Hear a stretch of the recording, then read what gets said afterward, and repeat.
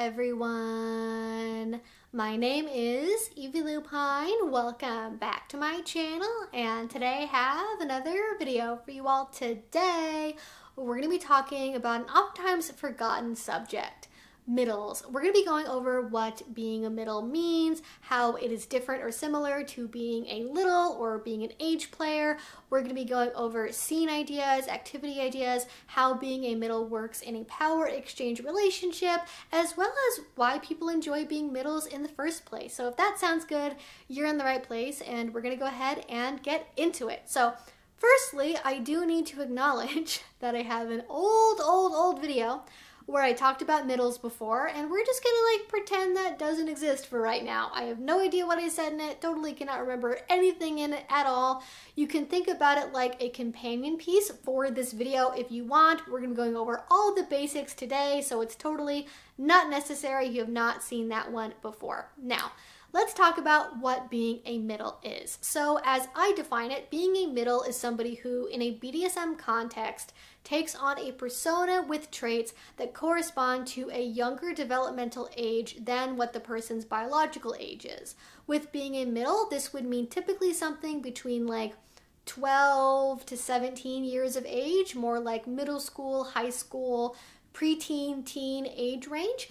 This is in contrast with being a little, where a little is about kind of the younger, maybe zero to eight or nine time frame, where people take on traits anywhere between being a toddler all the way up to late elementary school. Now, there is some wiggle room overlap in the middle between these of like, you know, 10, 11, 12 or so. You could call that being a little or being a middle. I'm not going to tell you which one definitely falls in which category, but that's generally how people separate the two. Now, one other thing that people correlate or confuse being a middle would be age play. And certainly over the years, I have seen people suggest that littles and age play are the same thing. Now, based on what I learned when I was coming up in the scene, I do think that age play and being a little or a middle are two separate things. So, with being a little or a middle, what I see as the main motivation behind it is it's about having that like childlike sense of wonder, that curiosity, that naivete, maybe that precociousness, maybe even.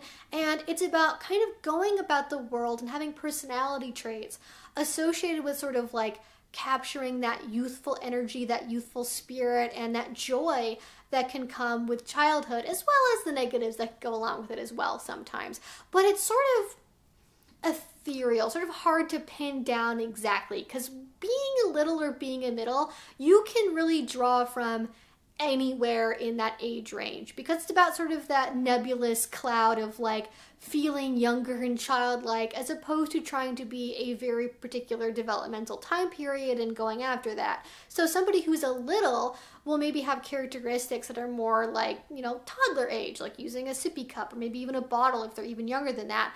But then they'll also be reading Animorphs or Charlotte's Web or something. And with being a middle, it's very similar, but those traits tend to be a collage of things from like middle school and high school put together.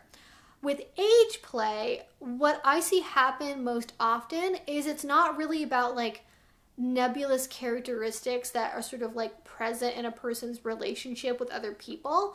It's more about like doing individual things during a scene and doing things in a scene space rather than doing something throughout an entire relationship or having like little ish like younger interests in everyday life. Like somebody who is just an age player won't necessarily want to like collect stuffed animals or watch cartoons outside of what they do during a scene. This can be confusing, and I think where people get kind of, you know, turned around about this is a lot of people who are littles are also age players and do both at the same time, but they can exist as separate things from each other. And with littles and middles, you are more likely to see them express that side in a relationship dynamic, whereas age players tend to be more focused on role play within individual scenes. Obviously, you can be an age player in a relationship, you can be a little or a middle and not have a relationship or only do it during scenes.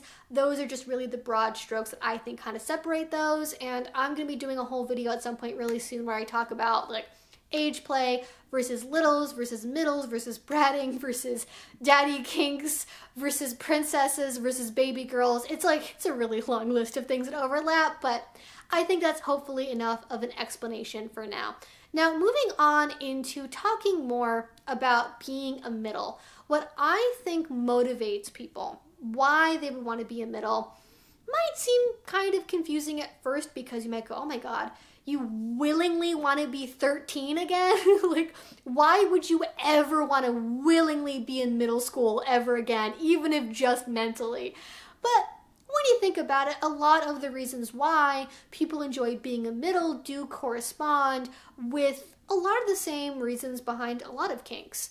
I think number one, for people that are littles and middles, they share this desire to express an inner truth about their personality. I think a lot of people, though not everyone, who is a little or a middle, does feel like it is an outward expression of who they are on the inside to some extent, where it's about getting to share with other people in a safe space their genuine interests, their genuine feelings that their everyday life has told them to leave behind. Because when you're an adult now, you can't be into Legos anymore. You can't be obsessed with dinosaurs. You can't be, you know, collecting Barbie dolls. That's kid stuff. Leave it behind, right? You're supposed to be an adult now. Grow up. And so for people that are middles and littles, it's an opportunity to get to express that stuff without any judgment, without feeling creepy or weird or looked down on or feel like they're being labeled as being immature unfairly. Now, speaking of being immature though, I will say for a lot of folks that are middles, one of the appeals is the emotionality aspect of it. Because especially when you become an adult you're told to you know keep a stiff upper lip not share your feelings not you know let anyone past your facade right? You're supposed to be you know really put together emotionally whereas with teenagers we give a lot of grace for angst and moodiness and being hormonal and not always having all of our emotions figured out. Sometimes like acting a little bit irrationally. And certainly getting to express those emotions in an understanding environment can be very healing for people. And healing is a really big aspect of why people enjoy not just being a middle, but also littles, age players, ABDL, and kink more broadly. Healing is a big aspect for many folks. And for being a middle, that healing can look like getting to kind of redo an adolescence that maybe didn't go super well or the way we wanted it to the first time. I know a lot of people that are trans that enjoy doing this type of scene or role play because it allows them to recapture having something they wish they would have had maybe 10, 20, 30 plus years ago and getting to kind of press the redo button a little bit. And so, really, when you get down to it, the reason why a lot of people enjoy being a middle is the same as most other kinks, right? It's about relaxation and acceptance and healing and security and self expression and sometimes just plain old having fun. Now, as I mentioned earlier, a lot of littles and middles do find themselves in relationships, and that is where they express their little and middle side. Within BDSM, of course, this would mean typically a power exchange relationship. The most typical thing you'll see online would be caregiver little and daddy dom little girl. Caregiver little is like the broader umbrella term for like any type of caregiver and any type of little, whereas DDLG I think tends to be more publicly known but is a lot more narrow. However, it's not just caregiver little or daddy dom little girl. There can also be caregiver middle or mommy dom baby girl or mommy dom middle or mommy dom middle girl, whatever. There's a million possible permutations on those variations. But typically, when you have a power exchange relationship, just to give kind of the broad strokes here for people who don't know what power exchange is, what you will have is you will have somebody who is on the left side of the slash who is a D type or dominant that is the one who is receiving power and or authority in that relationship model. Then you have people who are S types or submissives who are giving that dominant power and authority in the relationship. Typically, though not always, middles and littles are S types or submissives. Not all of them. There are definitely dominant littles and dominant middles as well, but that's like the most common arrangement. So for the rest of this video, I will probably refer to like CGM or caregiver middle to refer to that style of power exchange relationship. And one appeal of being a middle I haven't mentioned yet is receiving nurturance and guidance. Though middles do tend to be more independent compared to littles, they do still want guidance usually in their life. They want somebody who can help take care of them and put them on the right path and help kind of with their behavior maybe. They might like rules or discipline. They maybe enjoy punishments as well. Or maybe they just want praise, encouragement, and security. There's lots of ways to do a power exchange relationship and tons of different flavors out there along those lines, you're not just going to see a middle paired with a daddy or a mommy, though those are the most common terms you'll see. A caregiver can really be a lot of different stuff. They could be a nanny, they could be a school teacher, they could be a school principal, they could be a coach, they could be a governess or a headmistress. They could even be another middle that's taking on a big sister or big sibling approach to help take care of their younger sibling really, there's tons of different labels out there, and I'm sure I've forgotten a lot of them and haven't listed them here, but those are some good ones to start with if you want to try them on for size. Now, how would you go about being a middle in a power exchange relationship? What would that look like? And I instantly think of being like a latchkey kid, right? Where before your partner comes home from work, from school, you have to be the one to take care of, you know, getting dinner on the table, getting the chicken defrosted so they can make dinner, putting dishes in the sink or putting them in the dishwasher, getting laundry started, and doing these types of chores, especially around the house, can be a really good way to incorporate service submission into being a middle because you don't have to just choose one. Your caregiver might also give you homework to do on a regular basis. You might have to do book reports or do reading assignments or write essays and give them to your partner for them to grade. It could also mean having strict rules about your conduct and the way that you dress, right? Because polite young ladies never swear. Sure, sure on that one, but that can be a rule that you have. Or maybe it could be having really strict rules about how you dress when you leave the house, and you have to have your caregiver approve your outfit before you leave. And you know, you can do the whole like, but dad, everyone dresses this way, but mom, this is what's cool and have that kind of, you know, tiff maybe leading into a scene. Or maybe just do it on a regular basis and have your partner pick out your clothes for you and you have to get their approval. And of course, don't forget about the usual things like bedtimes, curfews, required study hours, practicing an instrument, getting grounded, or other limitations on phone, internet, or social media access. There are so many things to draw from when it comes to inspiration for having a middle in a power exchange relationship. And as I just said, being a service submissive can overlap really well with being a middle, surprisingly. But what might not surprise people is the overlap between being a middle and being a brat. It's so common that many people think that in order to be a middle, you have to be a brat. And you totally don't. But for a lot of people, it is appealing. And it makes sense, right? Because when you look at a lot of typical teenage behavior, you know, door slamming, too loud music going, I hate you, mom, you're the worst. I hate you, dad, you're the worst. You know, eye rolling, being on the phone all hours of the night, you know, sneaking onto websites you're not supposed to be on lots of bratty behavior that can go along with being a middle and vice versa there. Especially getting to act out that teenage angst we didn't necessarily leave behind in middle school. And when you look at the motivations behind being a brat, they really make sense and line up with why a lot of people enjoy being middles a lot of brats are very motivated by this idea of like, I want to be able to act out, but I want to be punished and disciplined because I want to be reassured of the relationship and that my partner will still care about me when I act out and that I am not powerful enough to like overtake this relationship. And that can go along really nicely with the middle desire, oftentimes, to have nurturance and guidance in the relationship. Not to mention, of course, both middles and brats can very easily be masochists, and most brats are masochists, and part of the motivation behind being a brat is they want like a narrative for when they experience pain or do scenes or get punished, and bratting is a way of achieving that. So, lots of overlap between being a brat and being a middle, but it is by no means a requirement. And not all middles are general angsty teens. Just like with caregivers, there are tons of flavors under the middle umbrella. You can be a middle who's a perfectionistic, goody two shoes, straight A student. You can be a middle that's a shy bookworm. You can be a middle that got shipped off to military school for the rest of their school time.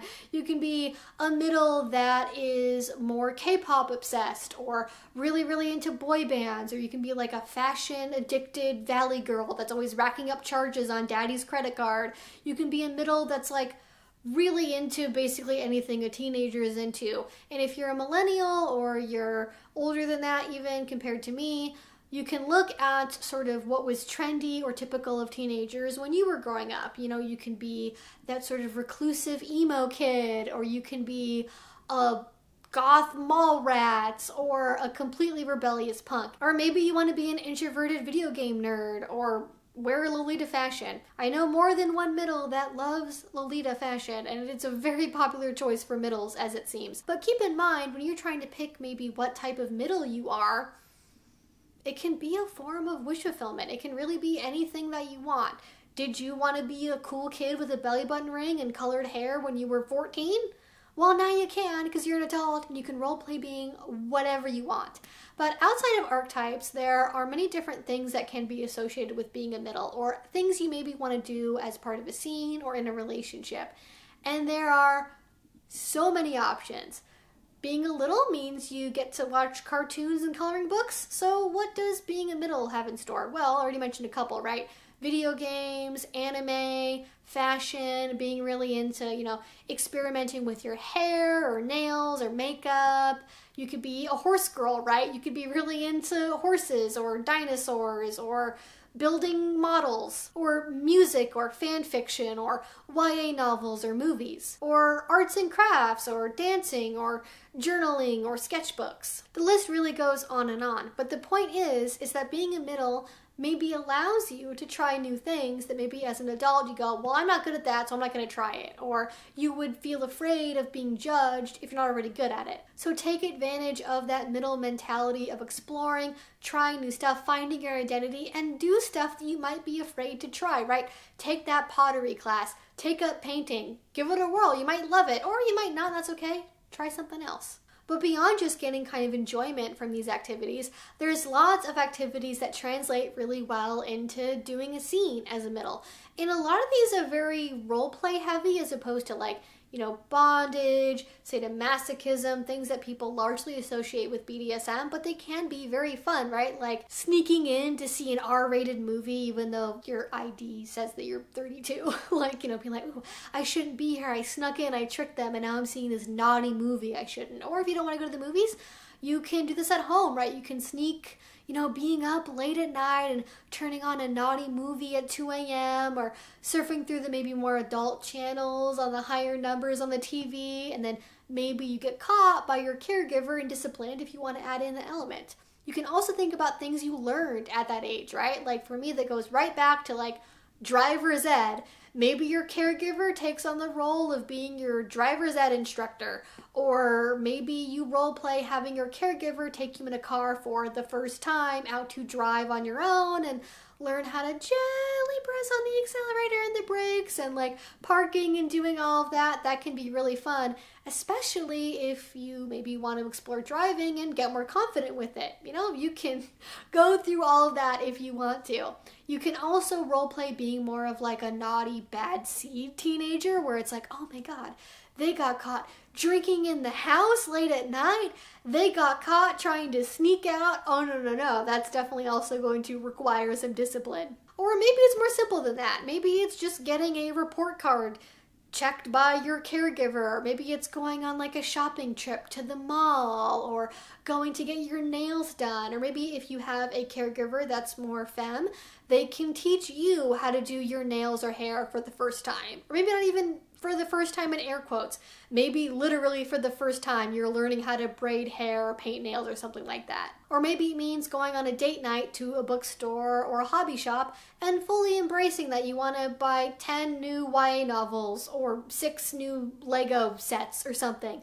You get to pick what you want to do. And I think that being a middle can be very rewarding for people. I think it can be a very fun type of role play. And there is one thing that I have, maybe for some folks, very obviously not mentioned to this point, and maybe if you don't have an inkling yet, now you will. Mm, there's a lot of talk online about sexuality with middles and littles, and with middles in particular, a lot of the resources online sort of correlate being a middle with being a like Lolita or a nymphette or whatever. And I'm to be frank, that's totally a thing you can do, but not all middles or even most middles are going to be motivated by the sort of sexual ingenue vibe that maybe that's more typically associated with. I personally don't love like Lolita Nymphette stuff as a label because of what that book is actually really about as opposed to the like horny interpretation of it, but that's my own personal hang up. You absolutely can explore like sort of having like first time type play with being a middle, like you know, I'm losing my virginity for the first time, or like fooling around in a car, or like the first time, you know, putting your hand down somebody's shirt and like touching a boob.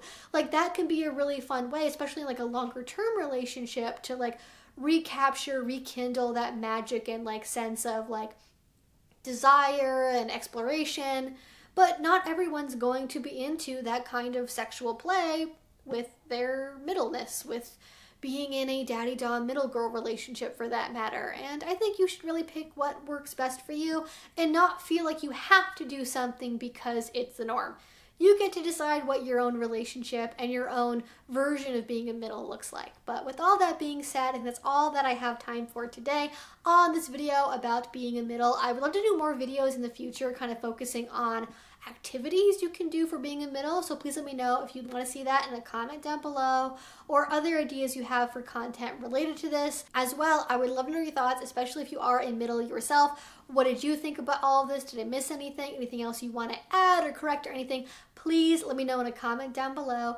If you did enjoy this, if you've not already, please do subscribe because I make videos twice a week about all sorts of kink and BDSM related subjects. And finally, if you want to support what I do, the best way you can do that is with Patreon. A link to that will be down below. If you do already support over there, thank you so, so much. It means the absolute world to me. And until I see you all next time, I hope you have a great yesterday and a great rest of your week. Bye-bye.